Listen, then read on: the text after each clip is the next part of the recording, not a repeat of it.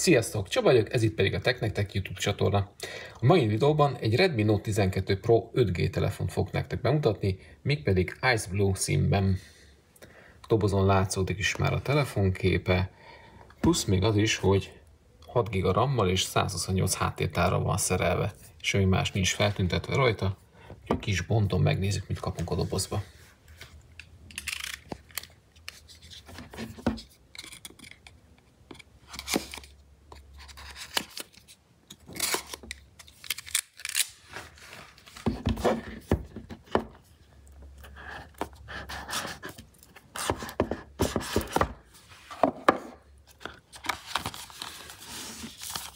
Kis dobozkát, ami tartalmazza a szimkivövőtőt, egy átlátszó szilikontokot, némi használati útmutatót, telefont,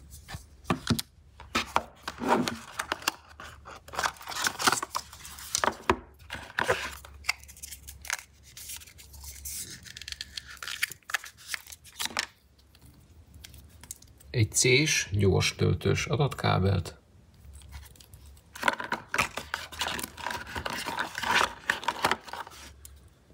és egy nagy 67 wattos töltőt.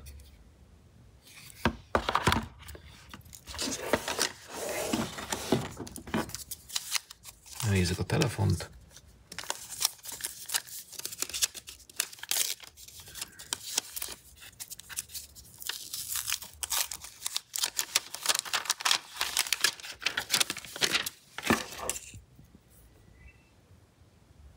Így néz ki. Ugye ez a lapos kivitel, ami mostanában divatos.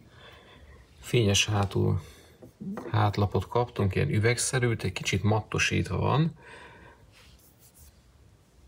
Viszont úgy látom azért az új lenyomatokat ez gyűjteni fogja, így aztán érdemes minél hamarabb rátenni a tokot, amit kapunk hozzá. Itt láthatjuk a kamerarendszert. 50 megapixeles a főkamera, ami rendelkezik optikai képstabilizátorral, van egy 8 megapixeles ultra nagy látószögű kamerája és egy 2 megapixeles makrokamera. Az előlapi kamera pedig 16 megapixel, az pedig itt található. A kép átmérő az 6,67 szoros Full HD és AMOLED kijelző, 120 Hz és 900 nites csúcsfényerőt tud leadni. 2400 1080-as felbontással és Gorilla Glass 5-ös védelemmel rendelkezik. Elég vékony, 7,9 mm a vastagsága a telefonnak. Itt oldalt látható a hangerőszabályzó, a bekapcsoló gomb, ami egyben úgy lenyomatolvasó is. Túloldalt nincs semmi. Alul található a SIM tárca, mikrofon, a C csatlakozós USB és egy hangszóró. Ugye kivesszük a SIM tárcát, megnézzük, hogy mit lehet belerakni.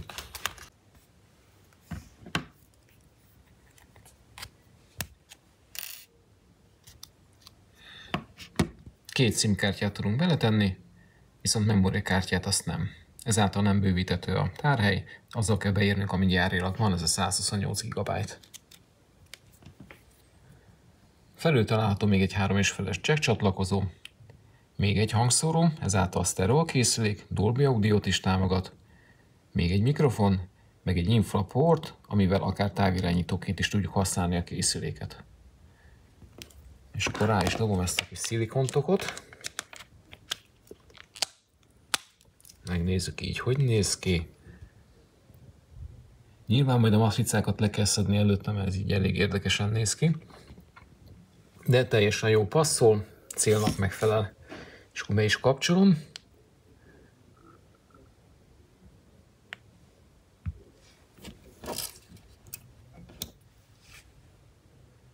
Közben még azt elmondom, hogy egy 8 magos processzorral rendelkezik, amelyből két mag 2,6 GHz-en, a további 6 mag pedig 2 GHz-en tud üzemelni.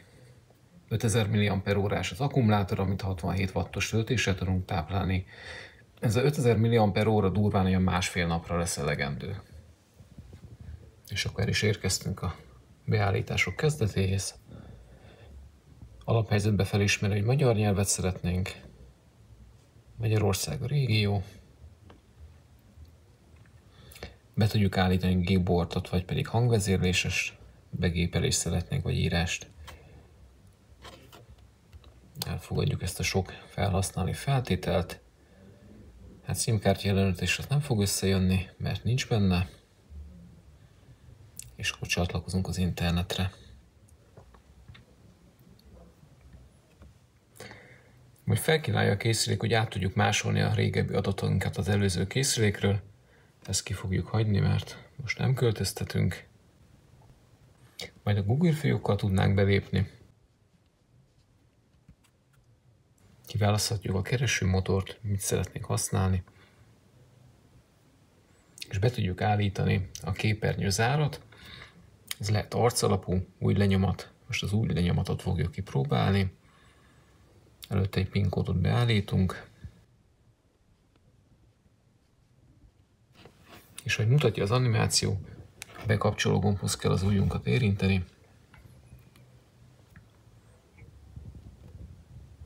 És időnként fel kell venni az ujjunkat az érzékelőről, hogy minél több helyről tudjon gyűjteni mintát.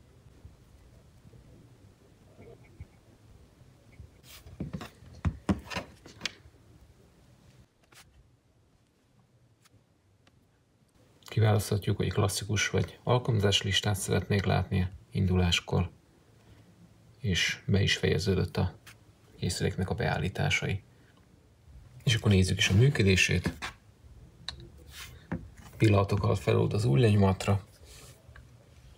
Ha balról húzok a képernyőt, akkor egy ilyen hírfolyam sáv jön elő. Ez annak függvényében fog változni, milyen oldalakat vagy hirdetéseket, filmeket nézegetünk az interneten, annak megfelelően fogja összeállítani a hírfolyamot. Természetesen ezt tudjuk személyre is szabni, tehát beállíthatjuk, hogy mire vagyunk kíváncsiak, vagy mire nem. Már itt a görgetésnél, nem tudom, hogy mennyire fog átmenni a videónál, érezhető 120 Hz is a kijelző, tehát nagyon folyamatos, rögtön reagál, semmi lagolást nem érzékelek rajta. Működik gesztus vezérlése is, most jelenleg virtuális gombokra van beállítva. Az első virtuális gomb a futó alkalmazásokat fogja mutatni, jelenleg nincs benne semmi, de majd itt szépen fog gyülekezni. És egy fölülről van lehetőség arra, hogy a lebegő ablakokat is hozzáadhassunk, szerkesztessünk. Itt az utolsó menüpontot tudjuk kiválasztani, hogy miket szeretnénk hozzáadni, vagy levenni róla. Hozzáadottak pedig itt látszódnak sorba. Van még egy ilyen tisztító alkalmazás, ami innen rögtön elérhető, nem kell keresgélni a menübe. Egy biztonsági ellenőrzés, egy mély tisztítás és egy játékgyűjteményt is elérhetünk innen. Középső gomb az mindig a kezdő oldalra ugrik, hogyha pedig hosszan nyomjuk meg, akkor a kereső fog előjönni. Tudunk hanggal kerestetni, meg természetesen begépelés alapján is, hogyha nem állítjuk be. Az utolsó gomb pedig a visszalépés felül bal oldalt húzzuk le, akkor az értesítési sávot érhetjük el, ezeket is személyre tudjuk szabni, hogy miről kapjunk értesítést, vagy miről nem. Ha jobb oldalt húzzuk le, akkor pedig a gyors eléréseket láthatjuk, kibe kapcsolhatunk dolgokat rögtön, tehát akár a Wi-Fi-t egy gombnyomásra, vagy ha folyamatosan nyomjuk, akkor átugrik a Wi-Fi beállításokhoz. Ugyanúgy a Bluetooth kibe kapcsolható. Ezek a gyors gombok személyre szabhatóak is. Most jelenleg, hogyha elgörgetünk balra, akkor láthatjuk még a további funkciókat, hogy mik vannak. De itt ezzel az ikonnal beállíthatjuk, hogy mik jelenjenek meg. Tehát elég jól le is lehet szűkíteni, nem muszáj három oldalnak lennie. Most szinte minden lehetőség hozzá van adva. Itt még alul egy pár darab van, amit még nem adott gyárilag hozzá a készülék. Látszódik, hogy NFC is van a készülékben. Tud internetet is visszaosztani. Sötét mód is egyből kapcsolható, gyors gombbal. Van QR kód szkennelés, olvasás üzemmód, és képernyőképet is tudunk készíteni vele.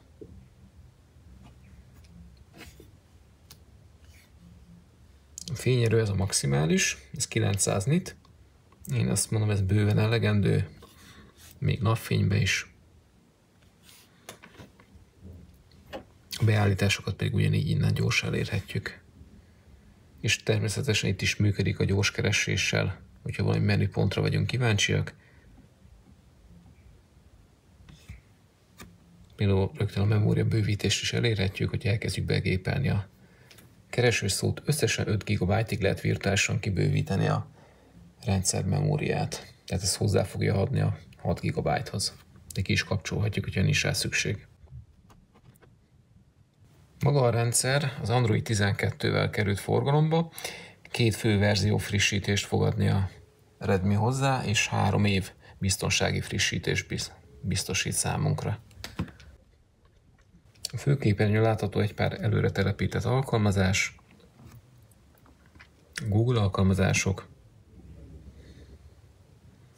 de hogyha egy oldalra elhúzzuk, akkor láthatunk még továbbiakat, például itt van egy eszköztár, ebbe található még a számológép, hangrögzítő, QR szkender, iránytű, és itt van a infraporthoz tartozó távirányító beállítási lehetőség. Itt hozzá tudunk adni a távirányítót, kiválasztjuk, hogy milyen eszközt szeretnénk irányítani, és akkor annak megfelelően be tudjuk állítani annak a vezérlését. Egy-két előre telepített játék is van, bár ezek mind eltávolíthatóak. Ezek a további alkalmazások. És akkor itt is van még egy pár játék.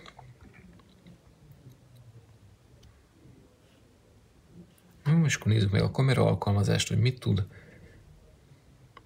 Ugye alaphelyzetben a fénykép tud HDR-be, tudjuk a vakut kapcsolni, képarányt állítani, időzítő, és a kamerának a további beállításai pedig ezek lesznek.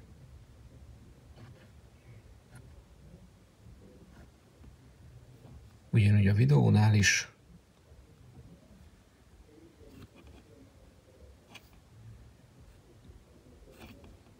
4K-ba 30 FPS-re tud felmenni, Full HD-ba 60, a maximális, és HD-ba pedig 30. Ennek pedig a beállítása itt láthatóak. Be tudjuk állítani, hogy milyen kódexet használjon a tömörítéshez. És ezek a további menüpontok.